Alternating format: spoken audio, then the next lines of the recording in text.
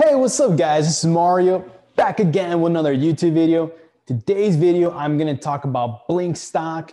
This is an EV charging company. They do have a network of charging stations all over country, all over the country to charge your electronic car.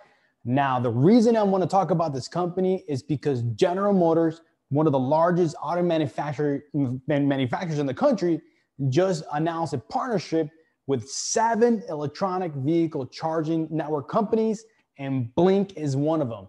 Uh, so I'm going to go over all those details of that partnership.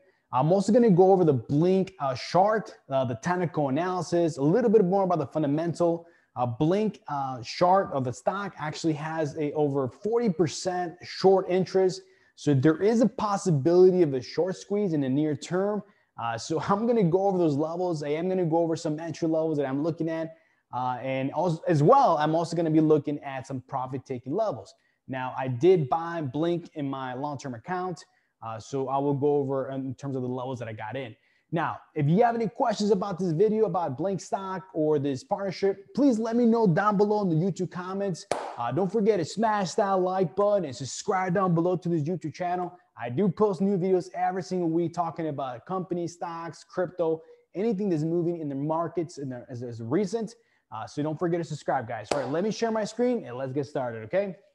All right, guys. So what I'm gonna do, uh, I'm gonna quickly share my screen, and then I'm actually gonna quickly jump to the to the chart uh, because I want to show you guys these levels. Um, we had this huge move, this short squeeze right here on Blink. Uh, this was uh, no, uh, November, early November of 2020 and we had a huge trend. It's, this was pretty much when Tesla, NIO, all these electronic vehicles or all these EV stocks were moving, and we had this huge pullback uh, once the, the Nasdaq and tech uh, started to get hit. And this 30 level held very well and is hovering above that level, which is very good indication of support that's holding very well. Uh, the EV sector as a whole is holding pretty well. Um, if you kind of look at uh, Tesla, uh, again, it's, held the 600 pretty well. It's kind of trending. It did pull back recently. We have NIO as well, another leader in the space. Uh, and it, and it kind of like is hovering a well, uh, very good around this 34 level, and it's kind of starting to trend. Uh, excuse me. And you have other stocks like Lazar, PRTS, Nikola, uh, Li, they all look like they're bottoming out and they're they're holding support right now. Even Workhorse. So to me, that tells me uh, even actually uh, this charge point. Uh, there's, there's another uh, uh, actually charging station company. This 20 held very very well. So this pretty much telling me the support is is pretty much almost there. Um, we just need a catalyst to kind of really push these stocks to the next level. And right now, what I do see is that NIO just reported earnings had an earnings report today after hours. Uh, we're just waiting for the uh, conference call to see what they say, any good news on the company. If we have some good news, I think this could really push Blink and other uh, EV stocks as well. So going back to Blink, um, I, I kind of want to, uh, first of all, go over uh, a little bit more of the fundamental story uh, as well as a news announcement. and then I'm going to go over some levels and, and, where I got in, things like that, and exit levels as well. So what I want to do now, let me show you a little bit more about this story. Uh, so here's some of the news uh, on the investors uh, website, um, which is IBD Investors Daily website. Uh, GM, which is General Motors, teams up with these electric vehicle charging networks. General Motors has teamed up with several major electric charging networks to offer customers access to 60,000 plugs across the US and Canada.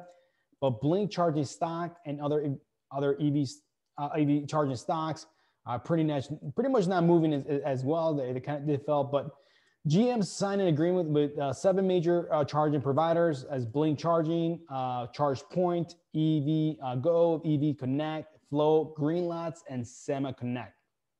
Now, I'm going to go straight uh, to the uh, investors investors relations page, press releases on General Motors website, and I'm going to go over more about the details.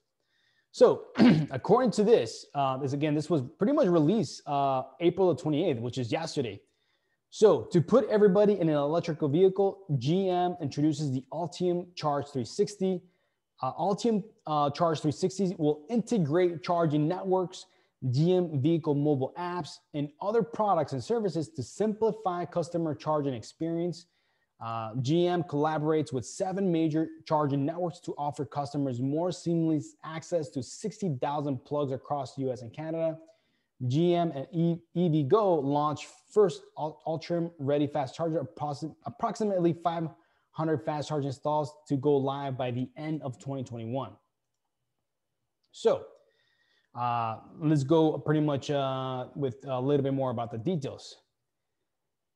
All right, so um, Ultium Charge 360 is a holistic charging experience offering access to charging. So GM will continue to work uh, with a variety of third parties, including charge point operators, electric utilities, government agencies, uh, to make home, workplace, public, and fleet charging ubiquitous uh, to for customers. Mobile apps, uh, GM will continue to update the GM vehicle mobile apps to provide an even more intuitive mobile experience that makes uh, navigating to a charging station, plugging into a charger, and paying for charging simple uh, products and services. Uh, to help ensure the transition to an EV is seamless, GM is working to offer EV owners charging accessories and installation services tailored to their lifestyle. For example, GM will cover installation of level two charging capabilities for eligible cu- customers who purchase or lease a 2022 Bolt or a Bolt EV. Uh, so, in collaboration with Qmerit. Uh, so in addition to introducing Ultium Charge 360, GM also announces continued progress on its EV infrastructure strategy. Uh, so pretty much GM has now signed an agreement with seven major uh, charging providers, including Blink Charging, ChargePoint, EV Connect, EV Go, Flo, Greenlot, and SemaConnect. Uh, through uh, their GM vehicle mobile apps, EV customers will soon be able to easily see real-time information from nearly 60,000 charging plugs throughout the US and Canada to find stations along the route and initiate pay for charging. Uh, so that's pretty much uh, pretty pretty pretty interesting, guys. So I guess the main point, guys, uh, is that pretty much all the um, all the uh, the uh, GM uh, electric vehicle owners, like the Bolt and, and very soon the Cadillac and even the Hummer, which are pretty much have an electric version now, they're going to be able to use uh, their mobile apps um, to, to uh, that's connected to the GM mobile app to find these electric charging stations that again will include Blink and others. Now, the reason why I'm focused on Blink in terms of the stock and not ChargePoint and others, because majority of the other uh, charging station companies are privately owned. Uh, ChargePoint is the only other uh, uh charging EV charging company that is actually public, but I do not like their chart. I really think uh, Blink chart is smoother and volume looks a lot better. So what I'm gonna do is I'm gonna go over the, the chart and kind of show you guys the, the levels, the entries and exits that I'm looking at. Um, so, and, and, looking looking into it um, right now, um, actually let me let me add. Uh, I want to add uh, the. Uh, I do want to add the moving averages because because the moving averages do help uh, in terms of see the trend. So the trend does look pretty much intact. It is creating uh, higher lows, higher lows. Um, we're definitely just waiting for this pretty much to break. Uh, I am waiting for this kind of level, which is the, the 40 to kind of break. So for me, breaking this 40 is confirmation that this trend is going to continue. Again, I really think a lot of this has is going to have to do with how uh, NIO reacts after their earnings uh, conference call. So, so far right now, we had their earnings, which they beat, they did really well, but we're waiting on conference call. So hopefully we get like any uh, forward looking statements that are really good or any future uh, uh, earnings that might be, you know, higher than expected, things like that. So we're waiting for that. Now, going back to Blink chart, overall, the, the chart looks uh, good in the, in the, in the, in the daily. Again, the 40 is, is, is, an area that I'm looking to break. I did end up buying uh, Blink around 38. Um, I am holding for a longer move or a longer swing. And if it does pull back and if it does break below 34, I'm going to see to see if it, it, it, holds at 30. If it does not hold 30, I'm, I'm, I'm getting out. Uh, but uh, I do see there's a momentum play. Uh, uh now, if this thing starts to kind of trend and start to make a move, again, the reason why I, I do believe that there's a possibility is just because the way this the chart is setting up, it's consolidating and it's getting a really tight range. And also it's because it has a high short interest. So uh, the float is 30 million, which is kind of low. Anything below 50 million share uh, float is actually very, very low, which could cause, it could easily cause a short squeeze. Uh, now you add, you couple that with the 44% short flow, meaning that 40% of the shares in uh, Blink are actually short. That could cause a tremendous short squeeze in the stock. And that's what I'm uh, pretty much hoping for. Uh, so uh, it does have a lot of volume in terms of a, uh, a daily average volume. We're looking at 6 million volume a day. So that's pretty good. There's a plenty of liquidity.